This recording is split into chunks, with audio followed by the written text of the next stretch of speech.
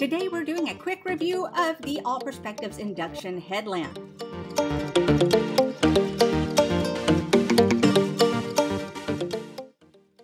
Fellow geeks and welcome back to Running Geek Girl. My name is Heather and I am glad you are here today. Now as I mentioned in a video recently, I am a member of the National Distance Runner Association and that they are affiliated with Tempo Sports. They have a whole bunch of various athletic gear that uh, different runners will use and this is one that they sent me. Uh, all I had to do was cover the shipping of it. They do this fairly often where they have new products come in, they have members test it out and uh, tell them what they think about it. So this is the all Perspectives Induction Headlamp. And what kind of drew me to this is the fact that this is 350 lumens, which is a little bit stronger than the headlamp I am currently using.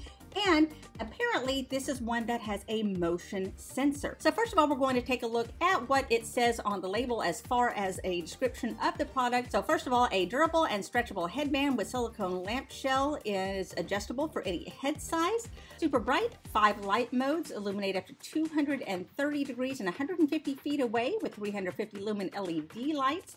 It's easy to operate with one button to switch in between the five power modes. It's applicable to various scenarios such as running, jogging, camping, hiking, fishing, bicycling, dog walking, reading, outdoor recreation, construction, and emergency. Now, a few of the features that it mentions that it has, it is 350 lumens, it is wave induction, a charging time to full battery of 2.5 hours, it is impact resistant up to 2 meters, and it is waterproof with an IPX4 rating. So this is not one that you want to go swimming with, but if you get caught in a rainstorm, you're good to go. It also mentions here that it is high efficiency. There's a working time of 2.5 to 8 hours, depending on what setting you are using, and it uses a Type-C USB rechargeable cable, which is included, but even if you lose this cable, Type-C is fairly universal. You can find a Type-C plug pretty much anywhere now, so you don't have to worry if you accidentally lose the cable. You can pick up a Type-C pretty much anywhere. So let's go ahead and open this little box up and see what we've got.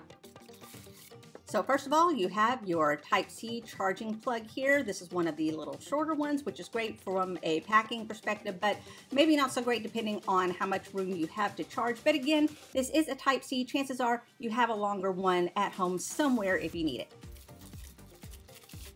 And here you go. This is the lamp itself. And I can tell right now, uh, this is already pretty much at its biggest setting. And look at this. I mean, that's a ton of room. I'm going to have to I'm gonna have to bring the size way down because I got a little bitty head. Let's see how easy it is to make this bigger or smaller. Let me just go ahead and take it down to its smallest setting because probably that's about what I'm gonna need. There you go, super easy to adjust. Okay, so look right, looking right here, you have your LED light and then you have your main light here on the side. Right here you have your power button, right next to it you have your sensor button so that you can set it to be motion activated. You can also see that if you turn it to the back here, there is a little area that flips up and that is your charging port for when you need to recharge. So let's try this on and see how it feels. So there you go. It is not the super softest or most comfortable that I have worn, so uh, there is that. But definitely with this silicone backing on it, this is not going to slip anywhere. It is not going to slide. It is not going to let any sweat through. Um, so there is that. Thankfully, the strap on the back, that's pretty comfy. This right here, I don't know, it might, uh, after a few hours, get a little bit irritating. Hard to say. I don't know, while it's not the most comfortable, it is definitely not going to move anywhere. So let's turn it on and see how we're doing. So there's, there it is on. Let me try on, let me try to get the sensor going.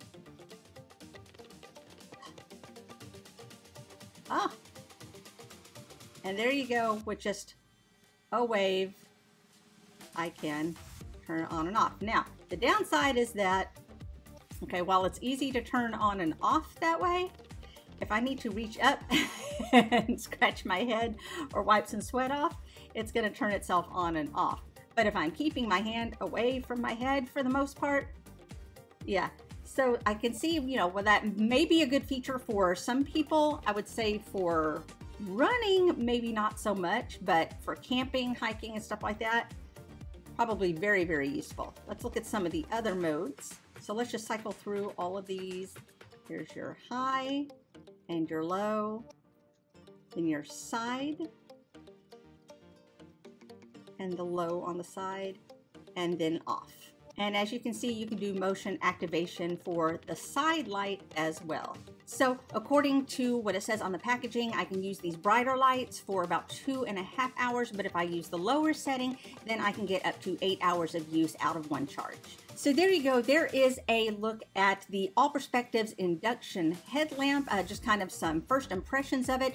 Um, I will take this out on some night runs. This is definitely brighter than the one that I have been using. Um, I don't know how much I will use the motion sensor. Possibly if I were to uh, take this on a camping trip or something like that, I would definitely use it for that, but probably not so much for running purposes. Um, and again, we're just gonna have to see how comfortable this is after a little while of use. So uh, I like the fact that this is non-slip. This is not gonna go anywhere once I put it on and is definitely going to stay put, but uh, we'll just see how comfortable it is after a while. So uh, definitely stay tuned to the channel if you would like to see me uh, review this again after getting a whole bunch of use out of it in different scenarios. I will take it on a run, I'll take it on a hike, and I am going to take it camping, and we'll just see how it works for all of those different scenarios and where it works best. So if you are interested in checking this out for yourself, I'm going to have a link down below if you would like to take a look. Did you find this informative or helpful? Why don't you let me know down in the comments below. Don't forget that you can subscribe to the channel. Just hit that button down below below and it keeps you up to date on all the running content that I have coming out all the time. You can also follow me on social media. All the links are down in the description. You can find me across all platforms under the name Running Geek Girl. Thanks so much for being here. I'm so glad you could join me. Remember to laugh hard, run fast, and be kind. I'll see you